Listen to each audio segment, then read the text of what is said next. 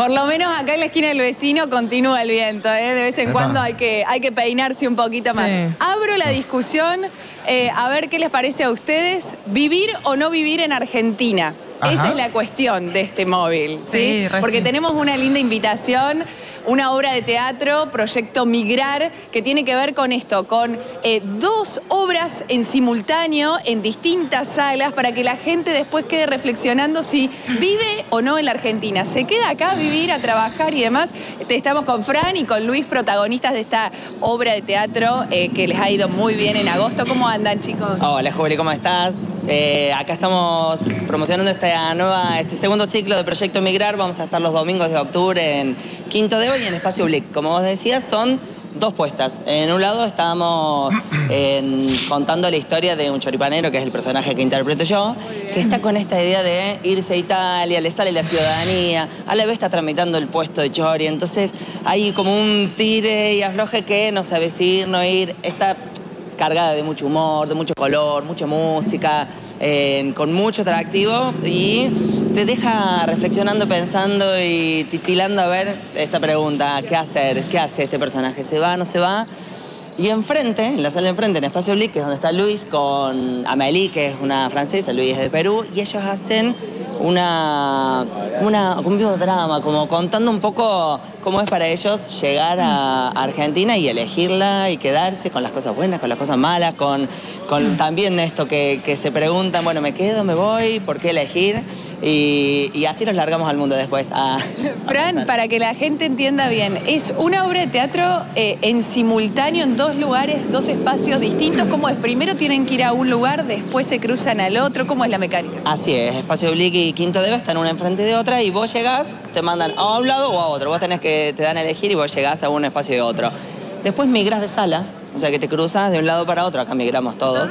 Y el concepto de migrar incluso se ha ido agrandando porque es de, país, de lugar, de provincia, de casa. Uno está acostumbrado como a migrar de muchas maneras y, creo que en la obra se van viendo esos reflejos y el público ves las dos propuestas después de ver una y otra y atravesar por todo esto que, que propone esta obra eh, al final, como esta historia trata de un choripanero que está viendo qué hacer, eh, tenés la opción de elegir la entrada con un chori y una copita de vino, opción de chori vegano también, así que terminás la noche con teatro, con un montón de condimentos y encima con un chori y un vinito, no puede fallar. Bueno, le vamos a dar la palabra a Luis para preguntarle, cortito Luis, eh, ¿por qué Argentina? Porque tu personaje, ¿no? Desde la mirada de él, llega aquí a Argentina con una mujer y ¿por qué eligieron este país? ¿Por qué se quedan acá? No, en realidad lo que nosotros representamos en el lado B es de nosotros mismos. O sea, tanto Amélie, que es de la francesa, como yo, hacemos de nosotros. Bien. ¿Y por qué entonces eligen Argentina?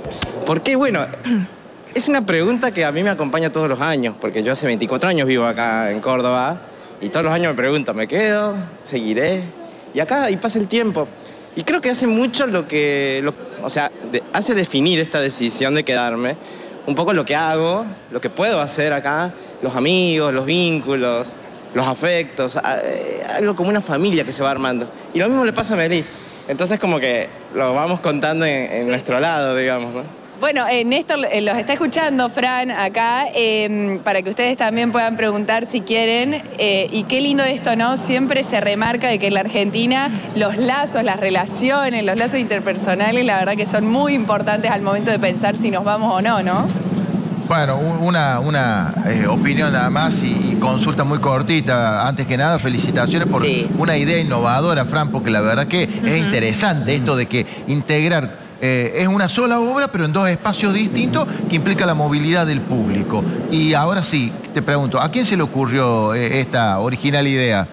¿Fuiste vos? ¿Fue Luis? Mira, esto no, el original de, estos son Alejandro Ramos, Valentina Echar, Julieta Lazarino, que son eh, la compañía Errante, una compañía que viene trabajando hace muchísimo en coproducción con Quinto de Eva, realmente eh, de algo que les disparó el cotidiano, el vivir, el, encontrarse con situaciones y la cotidianidad de vivir en Argentina, de repente una situación les plantó esta semilla y dijeron, bueno, a ver, hay que hablar sobre esto, cómo lo hablamos, eh, muy atravesado por, por, las cuestiones personales de cada uno. El migrar o el imaginar esta mm. Europa ideal está en el, en el, imaginario argentino desde, hace, desde siempre. Hoy y desde hace mucho tiempo siempre alguien tenemos que, que se fue, algunos lo hemos pensado, otros siempre está latente, así que yo creo que, que, siempre está, está latente esta posibilidad y bueno, me parece que, que el proyecto Migrar eh, te lleva a eso. Y, bueno, mi personaje que es el choripanero, hoy me viene de, de yo, pero cuando quieran he visto de choripanero, nos vamos problema. a hacemos chori para todos. Vamos, dale. Vamos. problema. sí, sí. yo ahí con Chimi, con todo. Ningún problema. Chicos, mucha suerte, eh, mucha suerte. La verdad que eh, interesante, original la, la idea. Eh. Un abrazo grande. Eh. Que sea con todo bueno, el éxito. muchísimas gracias. Bueno, ahí está entonces. Las esperamos. Proyecto Migrar. Gracias, Juli, ¿eh? muy amable. Y con la intriga nos quedamos Hasta un ratito. Hay que ir hay que ir. Tan original. Claro, hay que ir. Bueno, te mandan a una u otra sala, la que vos quieras. Y después tenés que ir este, migrando. Por migrando. Eso se llama Proyecto Toda una experiencia. Así es. Gracias, chicos. Ya volvemos en un ratito con vos, Juli.